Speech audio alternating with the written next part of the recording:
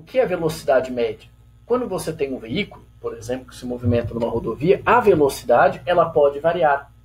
Agora, se você quer saber a velocidade num determinado instante aí, vamos falar desse conceito, que é o conceito de velocidade instantânea.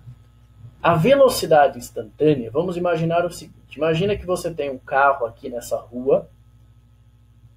Esse carro ele vai passar por um sensor que vai indicar a presença do carro, sensor 1.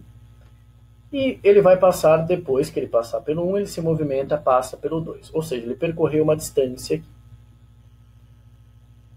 Quando ele sai desse ponto até esse ponto, se eu dividir a distância pelo tempo, eu tenho a velocidade média. Agora, como eu sei a velocidade num instante, o que eu tenho que fazer? Eu tenho que aproximar esses dois sensores para que esse intervalo de tempo ele seja muito pequeno para que ele tenda a zero. Ele não vai ser zero, mas ele vai ser muito pequeno. Vai ser no limite. Ou seja, a velocidade instantânea, você vai dividir uma distância pelo tempo que ele percorre essa distância. Só que esse tempo, esse intervalo de tempo, ele tende a zero, ou seja, ele é muito pequeno. E como esse intervalo de tempo ele é muito pequeno, é um limite tendendo a zero, você tem a velocidade naquele instante, a velocidade instantânea.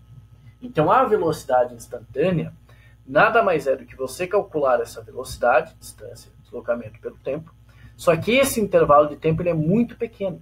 Se você colocasse o sensor aqui, mais afastado, ele gastaria muito tempo e a velocidade dele poderia variar bastante.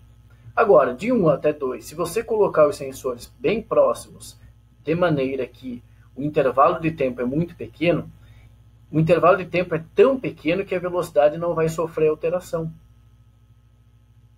Porque você vai considerar só naquele intervalo de tempo muito pequeno, de maneira que a velocidade não sofra alteração.